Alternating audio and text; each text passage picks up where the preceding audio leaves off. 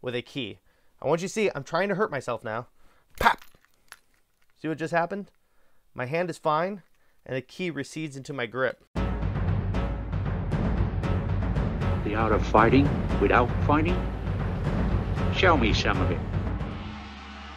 Hi there, everybody. Michael Valenti here with the School of Self Defense in Indianapolis. And in today's video, I am going to be ranking self defense weapons. Now, usually I make my own tier list, but I thought it might be interesting today to go to tiermaker.com and see what sort of self defense weapons templates they already have available.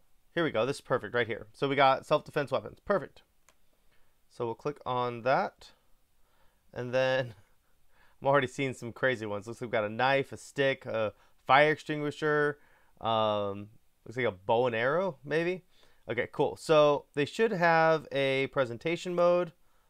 Boom, look at that. Isn't that perfect? Awesome. So let's go ahead and get into it. So taking a quick look at these, I kind of want to organize them a little bit better than they're organized. So I switched this from an A to F tier system uh, because I'm just looking down here and I see a couple things I think might fall under F tier. And I don't really believe in an S tier for self-defense weapons because S would insinuate like a weapon that's guaranteed to keep you safe every single time and I just don't think that exists in self-defense tools. And like I said, this video is more me kind of grabbing the first tier list that I saw on the website and just kind of seeing what the general public has put together and then kind of responding to that. The first weapon on this list is a stick. Now, to be honest, I am a Kali practitioner. That is one of the martial arts that I study. I've been studying Kali since 2006. I teach it at my school. Um, I love Kali a lot. And so to put a stick anywhere other than A kind of feels wrong. However, the truth about the stick in Kali is that the stick that we use in Kali is a rattan stick, and whereas it hurts like a son of a gun and could definitely fracture ribs or or, apps, or break fingers, it's really not a like it does it doesn't have stopping power to it. I imagine if you made it out of something other than rattan, like maybe you had like a hard oak maybe or a mahogany uh, stick, maybe that would that would be a much better self-defense tool than kind of a rattan stick that we normally see in Kali. The stick represents any kind of improvised weapon you might get a hold of. So yeah, you may be grabbing a stick, but that could be a crowbar, that could be a knife, that could be a machete, and of course in older times that could be a sword. And so the idea is that they would train with the stick so that if they did hit each other, it wouldn't be a lethal blow. The other issue with any kind of impact weapon, I'm thinking this is going to go to C. The other issue with any kind of impact weapon is the fact that an impact weapon requires strength to use. If you've ever done demolition work and you've handed a sledgehammer to a very weak person, they oftentimes struggle to really get the force behind it to break through stuff. While an impact weapon will increase your offensive abilities, I don't really think an impact weapon is what I would call an equalizer. I think it gives them a slight advantage, but you will still require a lot of skill and to a certain extent strength to make any kind of impact weapon useful. The benefit of kind of the Kali stick size, which is, you know, usually, you know, just about as long as someone's arm, is that it serves both as a long range tool and as a short range tool. As a result of the fact it can be used one handed, it does make it a viable tool for defense against multiple opponents. And if things get really close in, it still has impact power because it has the back end of it, which we call the puño, that you can strike an opponent with. So I think a, we'll put it at C, and I think it's good to put it at C because I feel like that kind of sets the precedent for what a through F actually means. A stick, which is going to be the most common weapon in the world, is going to be our baseline. So that's what we're going to call like an average weapon is a stick. And so we got to think is it better or is it worse than just having a stick? Okay, so right off the bat, we're getting into a pistol, a gun. One thing I kind of want to just immediately address right as I get into this is acknowledging the fact that a pistol is not a readily available weapon for every person. That there are a lot of countries, cities, states, and locations that it is illegal to have a gun in. I live in Indiana where we can have a gun in most places, but we don't allow guns at schools, we don't allow guns in government buildings. And I live very close to Chicago that has very strict firearm laws. I think it is important that we keep in mind that when we're talking about a pistol, we are talking about a weapon that is very limited in where you can carry it and where you can use it. Like I said, there's entire countries where you're not allowed to carry a gun because of that inherent limitation of a pistol, I really feel like we should start it off in B tier, and then I'll kind of explain why it should be in A tier. Another major issue of a pistol is the fact that you are going to have serious legal ramifications for using this weapon. There are a lot of very stupid people out there who say things like, I would rather be tried by 12 than carried by 6. I think a lot of those people are more so playing some weird power fantasy than actually preparing for self defense. One of the biggest issues, just period, when you carry a gun is that every fight you are in is a gunfight, whether or not you are using it.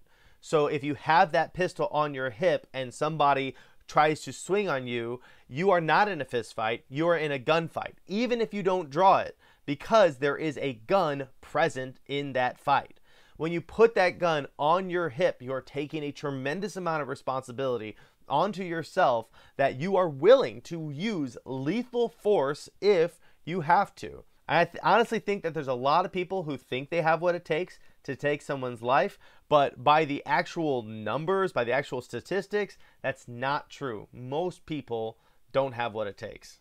Another tremendous downside to the firearm is that it takes a lot more training than people think it does.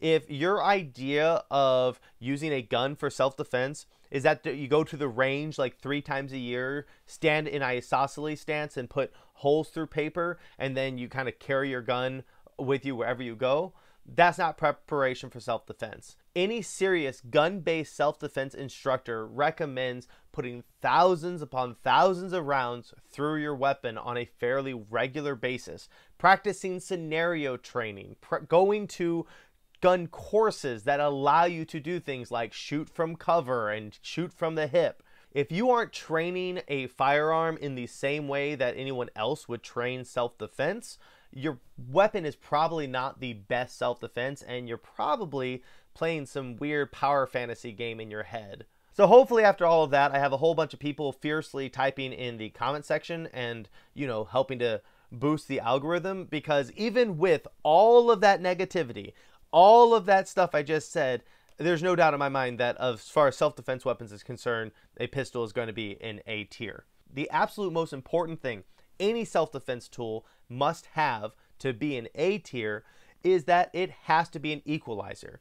That you put this thing in someone's hand and now they become the bigger threat between the two people. Whereas if you have a 250 pound man attacking a 120 pound woman and she has a stick, she probably doesn't have a really strong chance of defending herself successfully.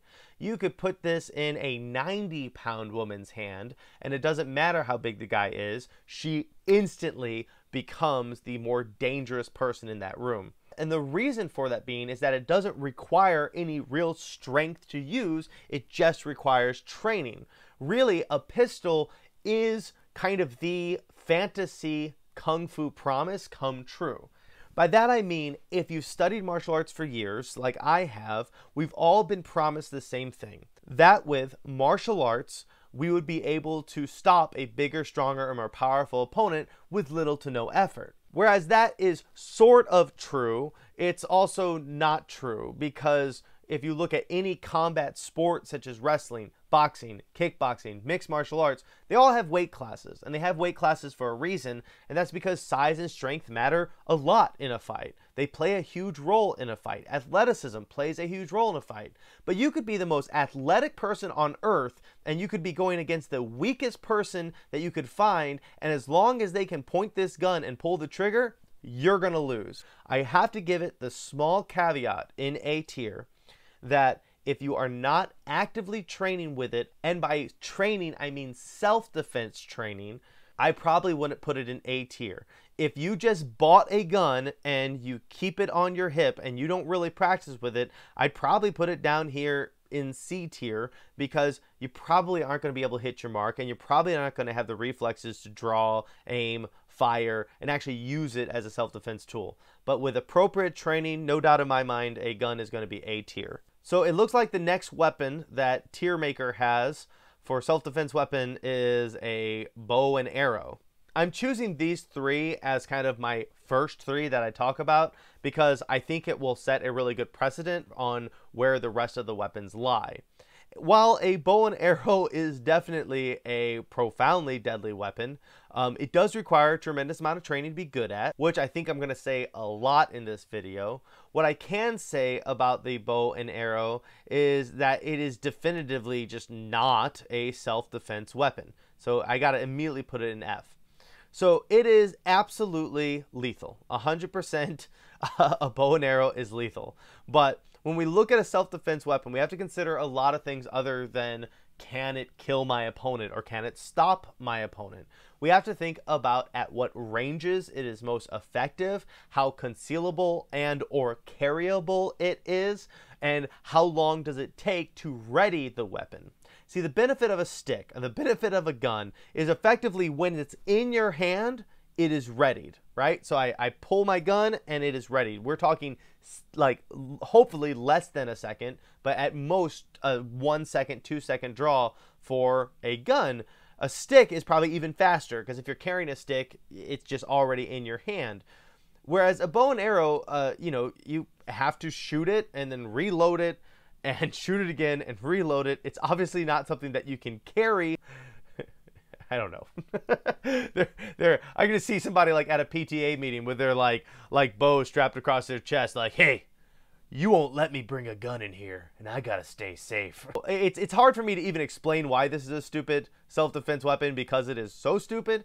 Uh, but that kind of the long and short of it is that uh, you can't carry it and it's only really effective at a long range scenario. I really think if you're shooting a bow and arrow, it is actually impossible for you to be in a self defense scenario.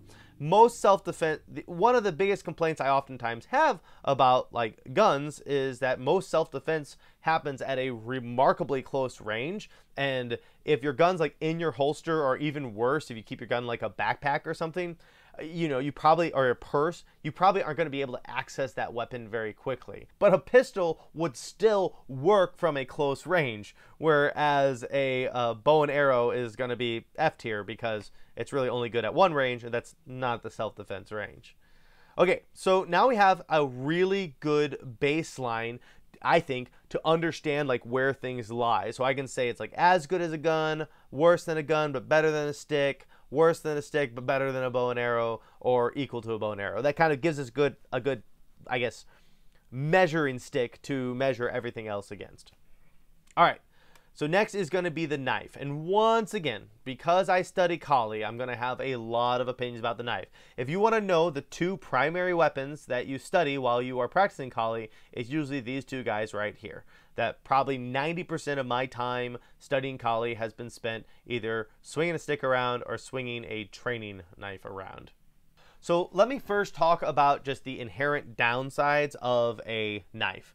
So a knife is always going to be a close quarters weapon. So unlike a gun, you are not going to be able to stop the threat before they get close enough to hurt you. I also think that a knife requires a lot more training than people give it credit for. I will oftentimes hear people saying just like how inherently deadly somebody with a knife is. And while that is true, I've also read and studied a lot of situations in which an untrained person gets grappled while they hold a knife and the knife gets ripped from their hand and used against them. So, just like probably any weapon that's going to be C tier and up, you're going to require some kind of training in order to use the knife.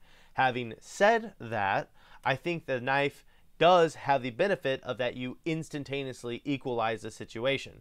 That if you have, once again, like a 130 pound woman versus a 200 pound man, and you put that knife in her hand, at minimum they're equal and probably in reality she is a more lethal presence within that confrontation than he is. I also like the knife because it passes one of the very important tests when it comes to self defense weaponry, which is it should be harmful even if the person defends themselves. So if you imagine if I swung a knife at you and you covered yourself, you're still getting cut. It's still going to cause a lot of damage for you just to protect yourself from this weapon. And its very downside is also one of its great upsides is the fact that it does work at close quarters because most self-defense happens a lot closer than most people are really uh, aware of a knife allows you to have a tremendous advantage at a very close range.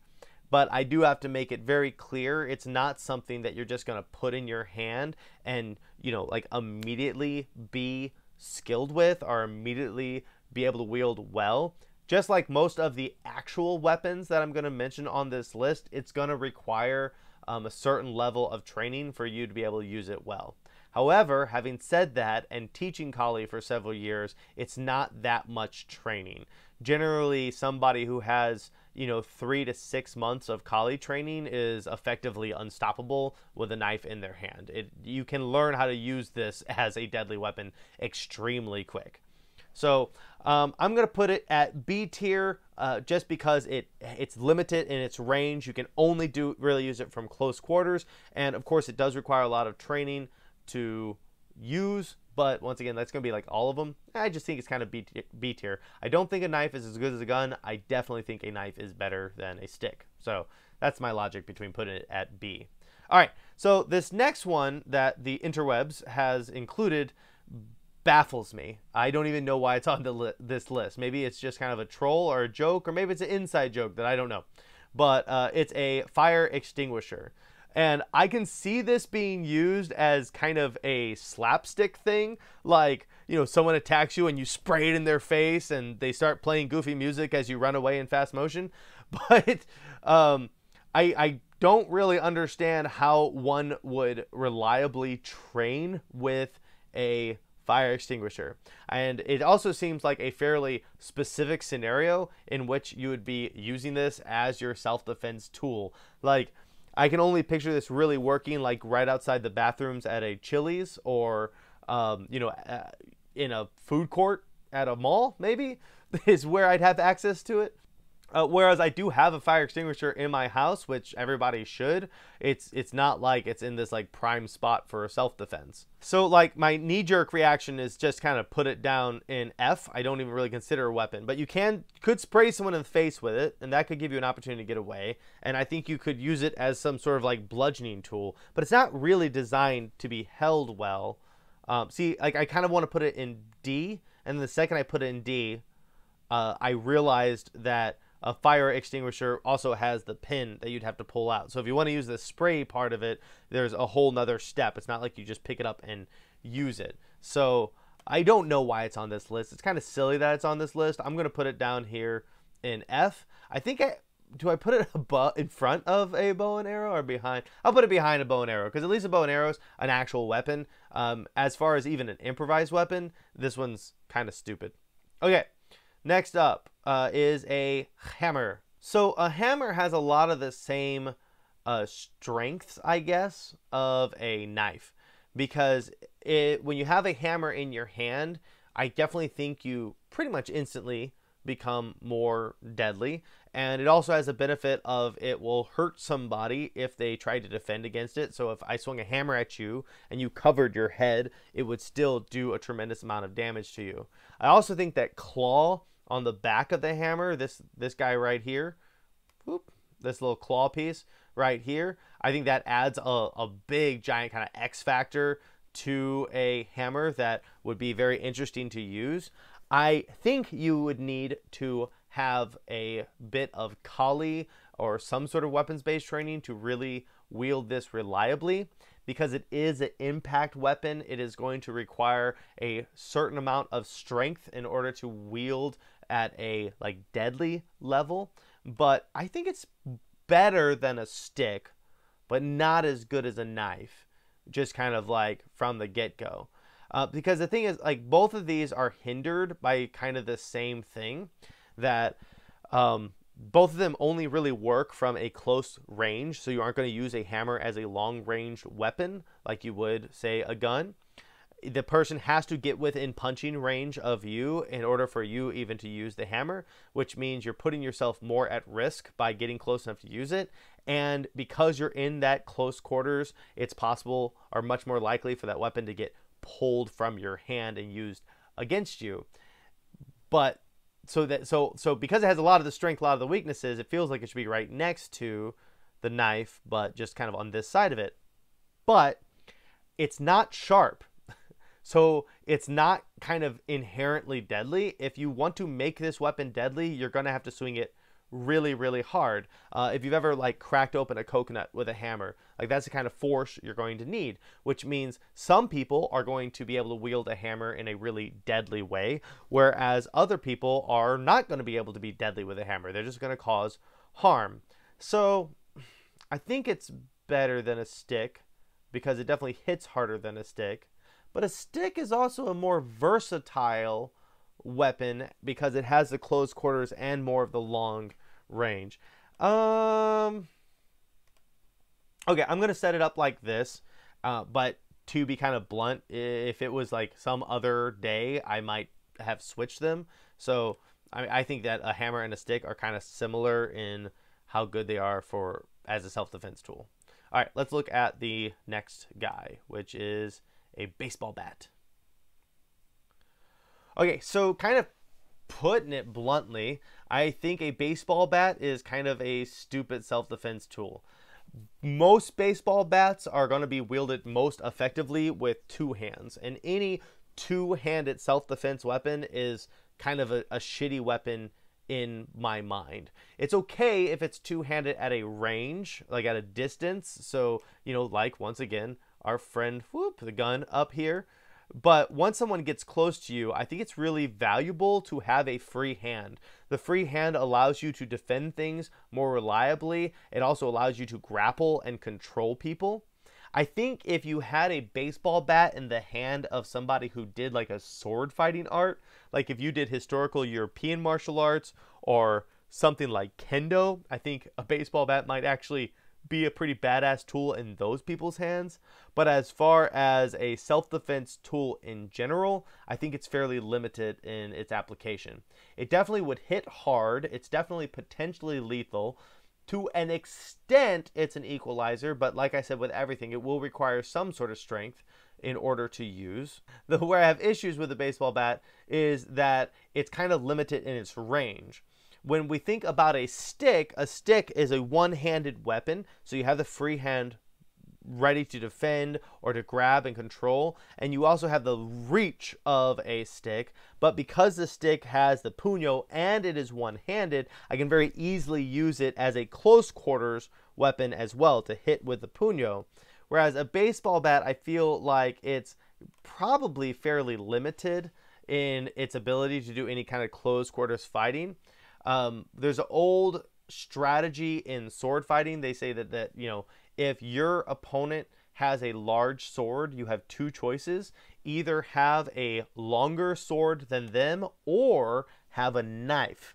And the idea is that if I can get within the cutting, if I can get past the cutting range of that person's weapon, they are sitting here trying to cut me with their big giant sword, and I'm able to get really close and hit with a knife. So longer weapons that aren't like projectile weapons, longer weapons are good at a distance, but the second someone gets close to you, they kind of go to hell. So another way to think about it is like how well would this work in a phone booth or or something like that. And actually, now that I mention it, I don't even know why you would have. Like, I'm going to put this down in D tier. I don't even know why you would have a baseball bat. So, in, in with the with the exception of the fact that you are actively playing baseball, I think that the only reason why you would have a baseball bat is because you went and got it. So you're in some scenario where you like walked out to the garage to grab your baseball bat or you went to your car to grab a baseball bat. And if you have time to go get a weapon, you aren't defending yourself. You're about to assault somebody and probably break a whole lot of laws. So no, I think it's I don't think it's a a good self-defense weapon. I'm gonna put it in D tier. I'm not even sure if I should put it in D tier. I kind of want to put an F just for like moral reasons, but I do think it's a better self-defense tool than uh, bow and arrow, so I will put it above it. Uh, but understand that like the scenarios in which you would be using this weapon, uh, you're probably not carrying this around. So once again, you know, picturing like someone at a PTA meeting, I seriously doubt that they're sitting there with their baseball bat, you know, like beside them saying like, "Yeah, yeah, I feel safe here with my baseball bat." You probably aren't carrying it as a self-defense tool. If you're using it, you probably went and got it, and if you have to go and fetch a weapon, then you are no longer defending yourself. You're probably assaulting somebody. Okay, let's look at the next guy. The whip or the tactical whip. Um, this is not a weapon that I have a lot of familiarity with. I'm I'm I'm aware of it in the world of self-defense, but I've never really played with one or been struck by one. But I'll tell you what I have been struck by. It's those little things that you use to open your blinds. What are they called?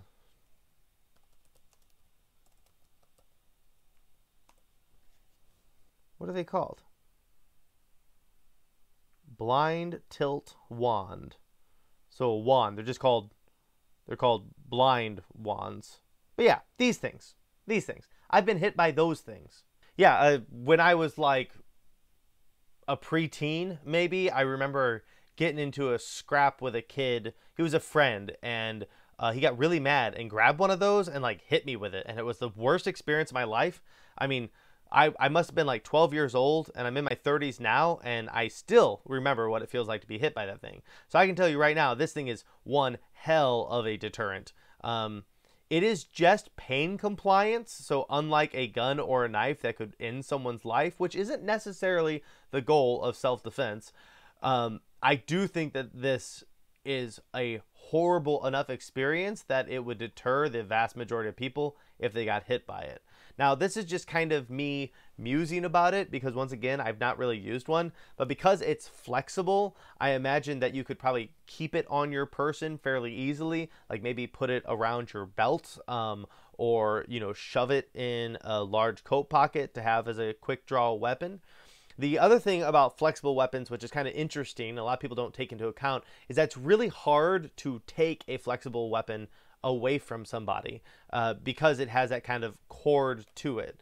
And once again, this is something I know from the whole being hit with a blind wand is that because it is flexible, it was very difficult to wrestle out of their hands. Boy, should I even tell that story? That's a horrible story. But kids suck. Kids suck. Just so you know. Like, kids suck. Okay. Uh, so I'm not gonna say that it's like this god mode tier up here with a gun, but it's definitely better than having a hammer because it has that long range uh, ability. Um, I also think this is one of the few weapons on this list. You know, a gun also being another one of these, and maybe a knife, but a, a gun and this whip that actually has any kind of chance of dealing with multiple opponents. That being able to, because the issue with something like say the baseball bat is that when I swing a baseball bat, I have to do a recovery to use it again. So unless I'm super ambidextrous with my swings, I have to deal with the weight of that weapon. So once I swing it, I have to effectively like adjust my body to swing it again. So it's going to be a relatively slow weapon. Whereas with a whip, you can kind of just go like bap, bap, bap, bap, bap. There's no real recovery time on that weapon. So I think it actually could serve well against multiple people. Another detail about these tactical whips that I've seen, uh, once again, not really played with, is that lots of times this handle can be used in a very similar way to how I was talking about the puño, the back end of a Kali stick. And so you can hit the whack, whack, whack from a distance, just like you would a Kali stick, but if they get close, you can use that back end to defend yourself. So yeah, I think it feels good right here uh, in B tier. Uh, I kind of feel the same way how I had a hard time determining between these two. I'm going to give the knife a little bit more of an edge. Uh, thank you. Uh, just because it does have a lethal ability to it, which I'm not a big fan of like the idea of like so your solution for self-defense is killing somebody but when we talk about raw stopping power a lethal item is going to have more stopping power than a non lethal item for the most part. Okay, so let's look at our next guy on the tier list, and and it's a rock. So a rock is a self-defense tool I don't think I've ever really considered. Most of these other ones, except for things over here in F tier, I've thought about.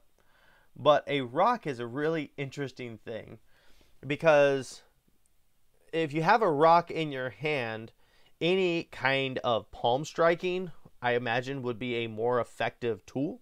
Uh, oh, also, if you come from an art that throws things like palm heel hooks, a rock would be really good. So you could actually use like some Kenpo techniques, throw a rock in it, and suddenly it's even more deadly. It's more effective as Kenpo. So that's kind of cool. Um, but a rock does suffer from a lot of issues once I start actually thinking about it. So it is a bludgeoning weapon, which means it is inherently not the most effective thing because bludgeoning weapons require a certain level of strength to use, which I keep on saying. Uh, it's also a very close quarters weapon. It's actually, I think, of all of these, it's the closest quarters weapon. It's the one that would really require you to get cl- most like tied up with somebody in order to use. And I think the rock is included here because the idea that like rocks are everywhere. But to my experience, that's not actually true. Um, I live in Indiana, and most of our, and there are a lot of rocks in Indiana, but the vast majority of them are like stuck deeply in the dirt and the mud. It's not like I can just reach down and pick up a rock. So maybe if you live in a less wet area where there's a lot of exposed rocks, maybe it'd be good.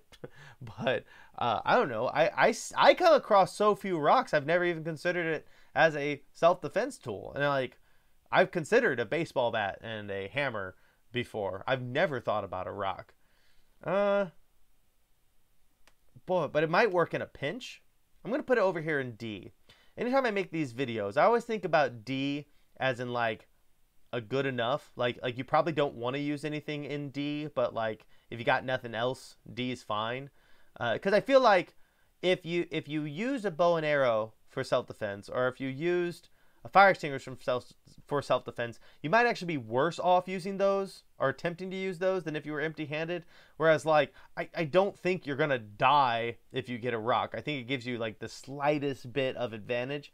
But I think the ability to use a rock as a self defense tool almost entirely depends on your skills as a martial artist.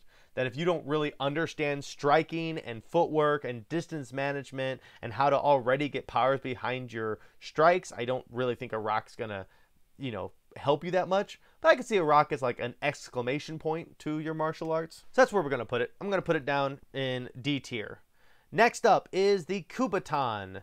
This is a weapon that I was really, really big about um, until I started using them.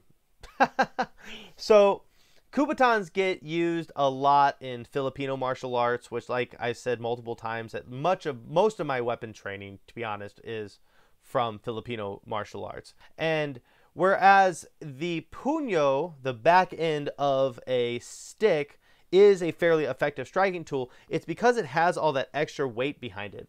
Kind of think about the way a pull cue works, right? That if a pull cue was smaller, like if it was shorter, you'd get less force out of a pull cue. Even though you're hitting with the tip of a pull cue, the back end weight is what's actually giving it its striking power. And so a Kubotan has the issue of the fact that there's no weight behind the strike. So your ability to use a Kubotan effectively almost entirely depends on how strong you are and your ability to actually like create that blunt trauma with it even if it has this little spike on it. I said that I was really big on Kubotan until I started actually practicing with one. And something I found, at least with most Kubotans, is that they aren't really designed that well to stay in your hand. If you look at anything that you actually have to hold, so like a hammer or a knife or a gun, you'll notice that the shape of the handle is relatively large and generally kind of has an almost an oval shape to it. That our grip isn't like a circle like this. Our grip tends to make this little oval shape like that. And if you look at it, our grip's actually quite large. So our our ability to grip really, really tiny things like a stick is actually not that good. We kind of do best grabbing onto something that's kind of about the size of a, of a knife handle, which makes sense because, you know, knives are designed to be held. Whereas Kubotans tend to be very small, that they're almost like pins. And the idea behind them is that you can put them on your keychain or keep them in your pocket and then just boom, you suddenly have this weapon. But I don't think it would give you that tremendous of an advantage. Most of the Kubotan techniques that I've learned through Filipino martial arts are not really techniques that I would consider fight ending techniques. There's a lot of like gunting where you're like passing a punch and then striking at the bicep and then like coming in with a back fist. Um, there's a lot of that kind of stuff with Kubotan, which I could see these as like deterrents. But I think all Kubotan really is is kind of kind of like how I was saying about the Rock. That I think a Kubotan is mostly just an exclamation point to add on top of an already well developed martial skill. I don't think people are just inherently more dangerous just because they have a Kubotan in their hand. There is a really predatory market in the self-defense world of people effectively just saying like oh if you just have this you'll be safe and there is no such thing as something like that. I mean if you think once again about how just extremely powerful a pistol actually is for self-defense and i'm telling you right now that a pistol requires training to use um, this thing's going to require a tremendous amount of training. So if you have a Kubotan and you plan to use it, you need to get into Kali classes, and we offer Kali classes twice a week at the School of Self Defense here in Indianapolis. What's up? Promos, plugging stuff, trying to be a businessman. Okay, so next one. Oh boy. Oh boy. This guy. Pepper spray, mace, depending on, on where, where you live, is to changes what you carry. Um, I love this stuff. Specifically, if I'm going to recommend a style of pepper spray, I would recommend the kind that shoot in a straight line so that you can kind of intentionally target the person you're spraying at. There are some that kind of shoot a giant mist, and those tend to be less effective and have a higher risk of you actually pepper spraying yourself and pepper spraying everyone else around you. Whereas with the straight line, it's kind of like shooting a water gun. Like you can see where it's aiming while it's spraying and ensure it gets into their eyes. Uh, I think a lot of the issues with pepper spray has a lot more to do with the marketing than the weapon itself. Where effectively the marketing is you buy this and now you're safe, and that's not necessarily the case. Um, if you don't have that pepper spray actively in your hand at the moment that you are attacked, it is probably not going to be a viable self defense tool. So if you have pepper spray in your purse and someone's actively attacking you, it's not like you're going to have time to rummage through your purse and pull it out. You'd have to have it already in your hand.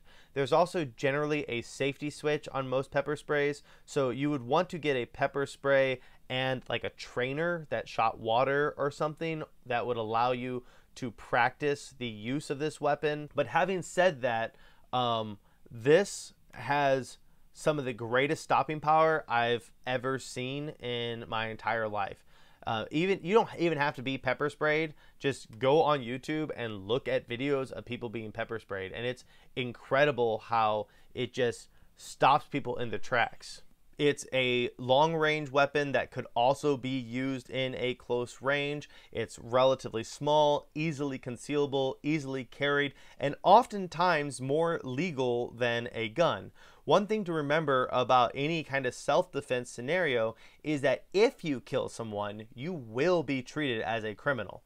Whether or not you get let off for self defense is a question about how good of a defense you actually have.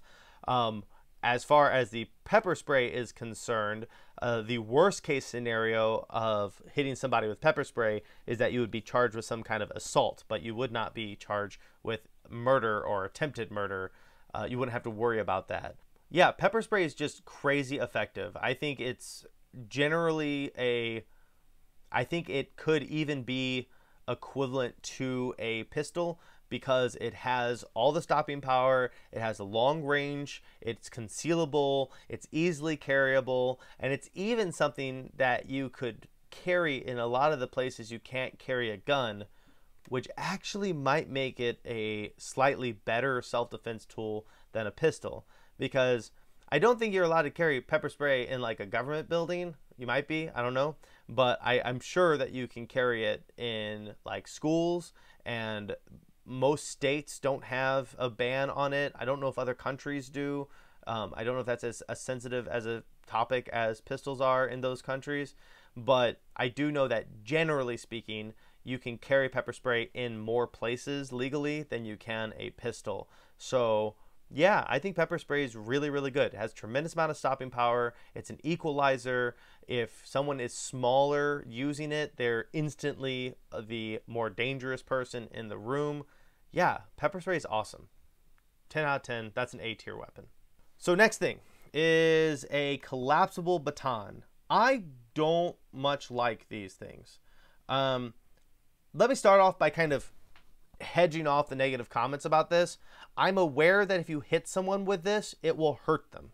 My issue with collapsible batons has a lot more to do with the deployment and practicality of carrying it.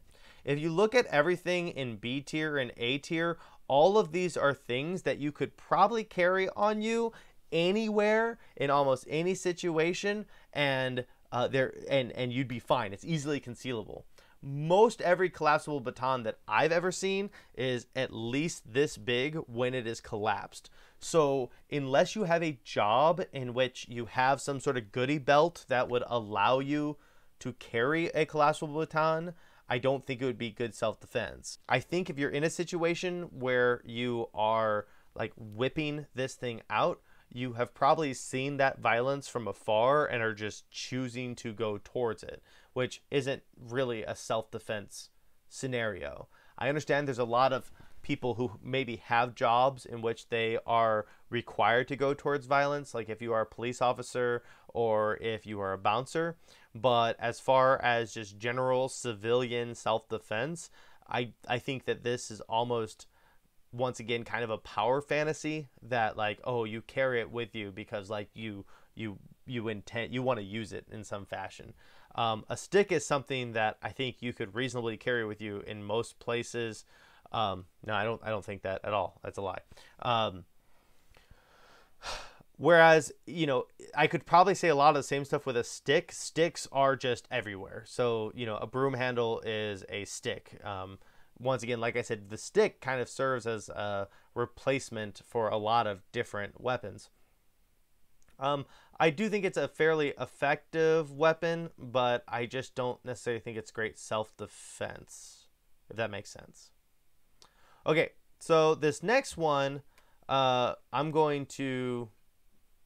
I'm probably gonna I'm probably gonna get on a soapbox on this next one, which is kind of funny because my entire channel is like a giant self defense soapbox. Um, dogs, dogs for self defense. I am not the biggest fan of dogs for self defense. And let me clarify where they are self defense so that I can clarify why I don't like them. Um, 100%, if you train a dog to attack human beings, uh, they're going to probably win those fights if they attack another human being. And statistically, a dog is a tremendous deterrent for most assaults. That so like if a woman is like jogging down the street with a dog versus without a dog, she greatly decreases her chances of being assaulted by just the fact that she has a dog with her. Same thing goes with like robberies. Um, that someone trying to rob a house, they are less likely to rob a house if they hear a dog barking because they don't want to deal with that shit. Um, so a dog can be a tremendous deterrent, and I don't have any issue with someone taking their dog out for a run and even feeling a little safer because their dog is with them. That makes a lot of sense to me. My issue with dogs as self defense is that dogs do not get to have a choice in be- being turned into a weapon. See, all these other things on this list are inanimate objects. So, so it doesn't matter if we use them as a tool. Uh, whereas a lot of dogs like to have jobs, I don't think many dogs enjoy the act of fighting, that it's probably scary and awful uh, for them as well. And even if you don't care about the well-being of a dog, I think you have there's a serious moral issue with training a dog to be violent towards people. You want a dog that serves as an alarm in your house. That's fine. My dog barks like crazy if, you know, a, a stranger were to come into the house or if someone knocks on the door or, you know, if I don't know, there's a, a strong wind outside. But uh but I would never want my dog to be in the habit of attacking people because if you if you think like the likelihood of a peaceful stranger coming to your door versus a violent stranger coming to your door, it's far more likely that if the person is is on your property that they don't actually mean any harm statistically. So uh, the the dog is just not appropriate for that. The long and short of this is a dog isn't a tool. A dog is a pet and it should be treated as a pet.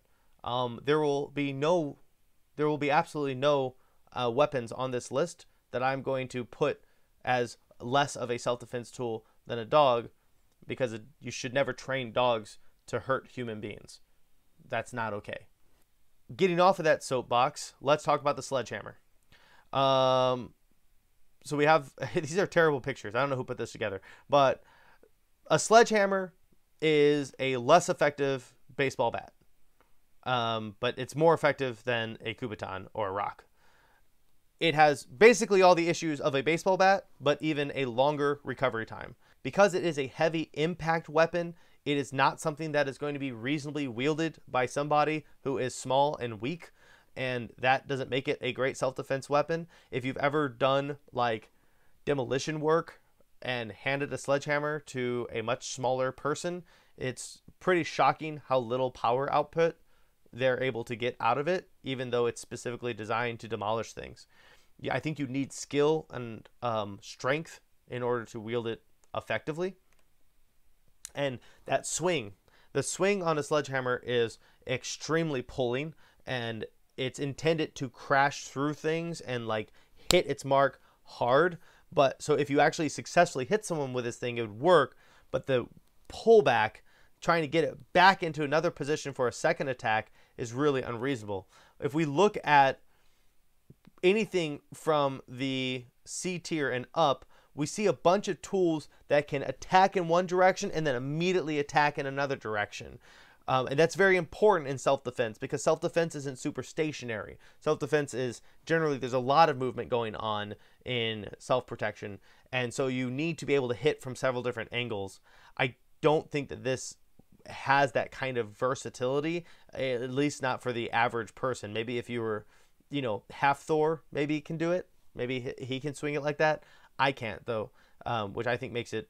Uh, and I'm not exactly a small dude, so I don't think it makes it a great self-defense tool. I also think you run into the same kind of moralistic thing with a sledgehammer. Like, why do you have a sledgehammer? Are in a self-defense situation, are you actively going out and like walking around with a sledgehammer in your hand?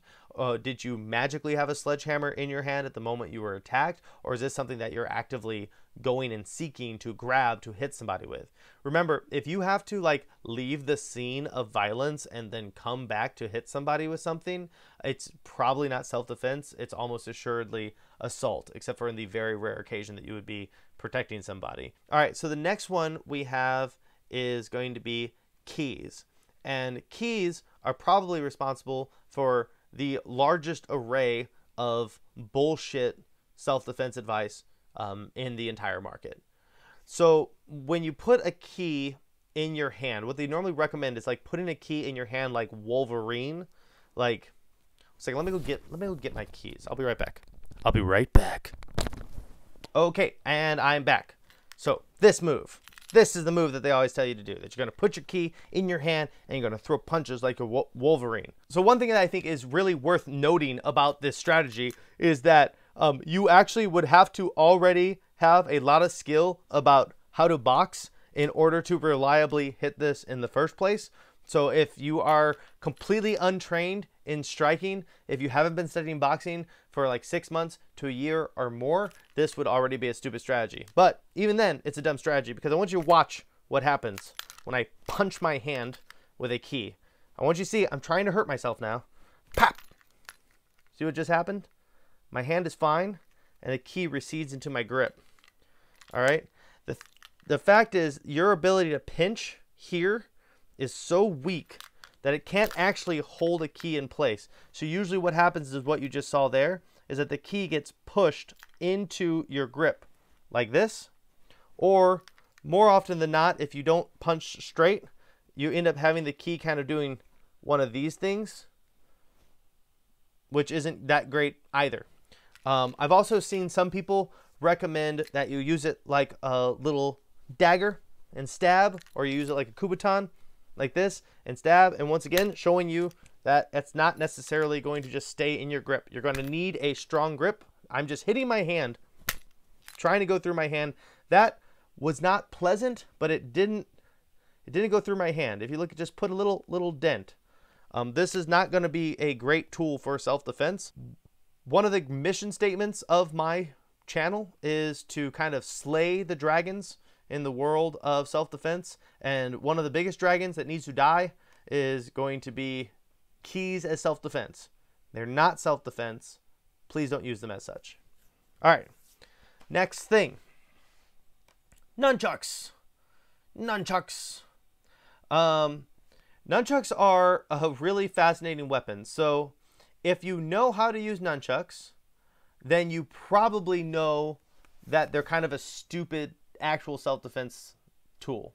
So something I've kind of alluded to several times is how quickly somebody becomes dangerous once they have that weapon. Like it is putting that weapon in their hand make them the more dangerous person in the confrontation. And whereas nunchucks do cause damage, they do hurt, I think in general, nunchucks are equally dangerous to the practitioner as they are to the person you might be using them on. It requires skill and a tremendous, and I mean a tremendous amount of training to wield nunchucks with any kind of safety or power. There's also kind of this idea that the chain of a nunchuck creates like this like whipping effect so that maybe you'll get like a similar effect as these but with like a, a heavy whip at the end of it and at least as far as my knowledge and my experience is concerned, they actually tend to hit softer than sticks. I know that's crazy. There are a lot of people who really love nunchucks, but they are not really that great because they require a tremendous amount of skill to use, way more skill to use than a stick, and they hit about as hard, if not less hard, than a stick. And then you also get into kind of the odd legal thing that these are things that are commonly used for self defense. These here, knife, a hammer, a stick, are clearly improvised weapons. This is clearly a self defense weapon. Nunchucks, a lot of times, are viewed as more troublemaker weapons than self defense weapons. Uh, they are you, you you have a chance of getting into legal trouble with using nunchucks, and there are some places where you're just downright not allowed to carry them. I think it's a weapon that requires a tremendous amount of discipline to use, you know, and which I always thought was really funny that the the weapon that requires the most discipline to get good at is the one that they gave to the least disciplined Ninja Turtle. Dog, I just realized something. Master Splinter was trying to teach him something. He gave them the nunchuck so that he would learn discipline. Dang. So nunchucks, uh, they're better, but better than a baseball bat. Worse than a baseball bat. I'm gonna put them. I'm gonna put them here. Boy, I put a lot of things in D. um, but I put them in D for a reason because they aren't really. D's kind of my like. It could be a self defense weapon, um, but probably isn't a great self defense weapon. I think. Maybe I should put him down, down here in F. Is it better than a rock? I don't know. I don't know if it's better than a rock. I'm gonna put it in F. I think it's. I think nunchucks are worse than a rock. I think. boy, as this list gets filled up, this gets increasingly harder for me to think about because we're kind of like running out of the actual self defense weapons I gave a shit about. A lot of these ones that are down here are so silly to use for self defense that I've not really given deep thought onto them because it's just like, oh, yeah, a fire extinguisher is not something I think about as far as self defense. It just wouldn't cross my mind because it's kind of dumb. But let's look at these guys. So, as far as the effectiveness of brass knuckles, so brass knuckles are interesting. I've, I've got to play with them before, and not that I've like ever hit anybody with them, but I've hit things with them. And something I found really interesting is that if you train correctly, if you're if you actually are somebody who knows how to punch bare knuckle, you tend to hit with your first two knuckles like this. So the impact is like this on your hand. Some Wing Chun guys will hit with their bottom three knuckles here like this, but still it's it's kind of this like very top of your fist. So you aren't actually hitting with the whole fist. So you don't hit like this. You hit like this. And when I held brass knuckles, what I thought was kind of frustrating about them is that they that they tended to end up with the the like dangerous part of it right here, right in the part where I didn't punch. So when I actually hit something, eh, the brass knuckle didn't actually hit. So I'd have to actively and intentionally hit incorrectly with this, which I think the idea of a brass knuckle is that like you just put it on and now your punches hit harder. And if I punched correctly, at least the way the ones that I had, the ones I was using, they they wouldn't allow me to hit correctly and use them at the same time. These aren't like a tool that you hit hard with. I think that's a misconception. They're actually something you would do quick jabs with. Um, and so, as far as a weapon in that case, they do work. So, like, they tremendously increase how much damage your punch does. It actually is kind of creates a lot of cuts. But you want to talk about the legality thing. You talk about how like dubious having a gun is. Boy, brass knuckles are a one-way ticket to um, uh, legal issues. I would not consider these a self-defense tool whatsoever. Um, if you have time to put your brass knuckles on, it means you saw the violence coming from a mile away, and you're probably in some sort of street fight and not in a self-defense scenario. Um, I think you are probably um, not ever going to see someone use these in real life as a self defense tool. Like, oh my God, I got mugged at an ATM and I threw on my brass knuckles and I hit the guy. It's like, no, these are all things I could just pull out, you know, that like I draw my gun and it's ready. I draw my pepper spray and it's ready. I draw my knife and it's ready. Uh, brass knuckles are something that you'd have to use some fine motor skills to put on your hand and then use them. You aren't going to have like a quick draw with your brass knuckles. Um, so yes, brass knuckles are a weapon and they will hurt really badly, just like nunchucks would are a weapon and would hurt really badly. But I think both of these are tools that if you are using them, you're probably just assaulting somebody. And the next one is going to be some kind of taser or stun gun. I can't see the front of it. All right, so it looks like it's probably a taser. So that, that, that kind of looks similar to the thing that they have here. So I'm going to pull this up so that I can talk about this a little closer. So the way that tasers fire, it shoots out these two barbs that plug into the person's body and kind of create a circuit and then it pulsates electricity through it and it incapacitates the person. And I find that these things work um, only like 50% of the time and it's because it's very common that one of them hits the person and one of them misses entirely, and then it doesn't really do its job. Uh, there is like some argument to be made that you know without its cartridge it could be used, you know, kind of like this kind of taser here where you can like zap the person, but that requires you sitting there holding it on the person. Uh, it has stopping power as long as it is working. So if a taser is working um, you know, I probably put it up here in like B tier if you if you're successful and get that shot correctly. And it is just kind of just by its nature a more difficult weapon to carry on you. Um, just because of kind of cultural reasons. Uh, somebody walking around with like a gun in America is something you would see all the time, whereas only really like a cop or a security officer of some sort would have a weapon like this. I think this could be a good weapon for anybody, once again, who has a job that requires them to run towards danger. But as far as self defense is concerned, um, I don't know. It's probably like a C tier.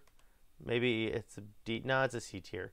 Okay, because like if I'm thinking about D tier as kind of like this is where the weapons that like I guess you could use for self defense are, and then C tier and up are me saying like yes, you, know these are actual self defense weapons. I would put a taser in that range, but I don't know if I think a taser is better than a stick. And that says a lot, I think, about the issues of a taser as a self defense tool. Um, I think it's important just to reiterate that if both of the barbs land in the person, it works tremendously well. But it's so common for only one barb to hit, either because a second one kind of misses or the person's wearing thick clothing and it doesn't get through the clothing and get a good tight bite on their body, um, that it's not really that reliable. Man, I'm tired of putting stuff in D tier, but I just said this isn't reliable, and I can't I can't possibly put a self-defense weapon in C tier or up if it's not reliable. So it looks like most of the things on this list were not really great self-defense weapons. Okay, so this is what we got. Uh, I'm gonna say that the C tier and up are gonna be the tools that like yeah for sure you can defend yourself with these. B tier and up are the things i actually think are worth spending your time training with. So taking kali will teach you how to use these two things and then taking a basic pistol course self-defense courses and then there's even you know uh, ways that you can practice with pepper spray. These top the a and b tier they're going to be worth your time to actually um, practice and spend money on and get good at using these tools everything else here um, are either going to be kind of just improvised weapons are downright going to get you in some kind of legal trouble if you were to use them. Especially when I make tier list videos like this, people will comment on them having not watched the entire thing. So do me a favor and include the word death stick into your comment so that you and I will both know that you made it to the end.